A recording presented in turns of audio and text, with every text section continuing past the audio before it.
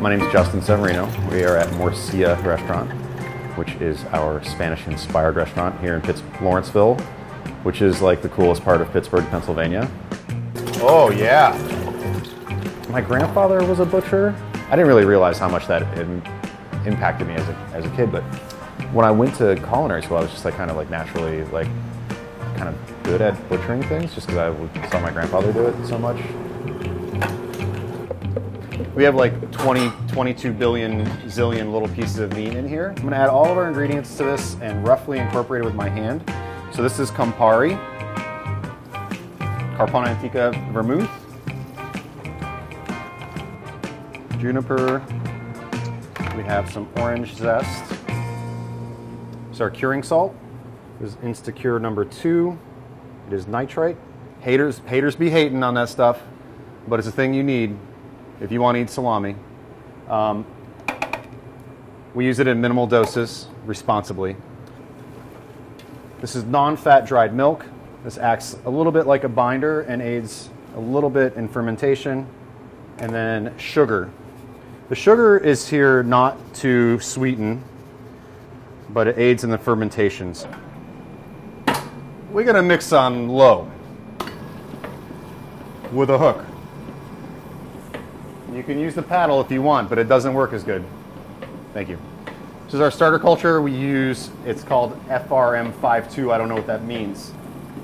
This is something that historically has been done with all kinds of things like that aren't designed in a, in a lab. Like you can use whey, you can use the juice left over from sauerkraut.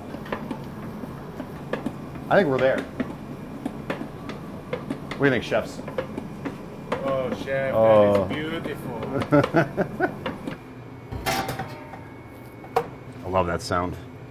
So now we're to stuff. So we like to get a little bit of lube on the table here so they slide around real nice. This is like super erotic. I'm just to slowly get down to where there's some sausage and then I'm to try to press as much of the air out as I can. And actually, one of you guys want to grab the string? So that's about the size we want. That's about a foot long.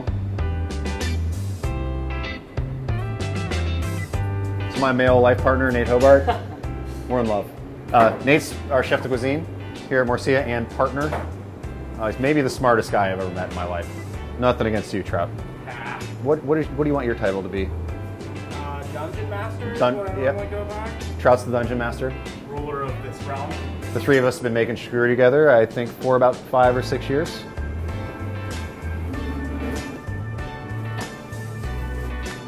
My grandfather really didn't ever think about the science of making a salami or prosciutto. It has to be designed by like instinct and passion. That's the part of tradition I really lean on. You know, like at the end of the day, it's all about your sensory, your senses. You know, it's all about like how what does it look like, what does it smell like, what does it feel like, and how does it taste. And that's what cooking is, I think, too, in, in general. It's nice, huh? You like old meat?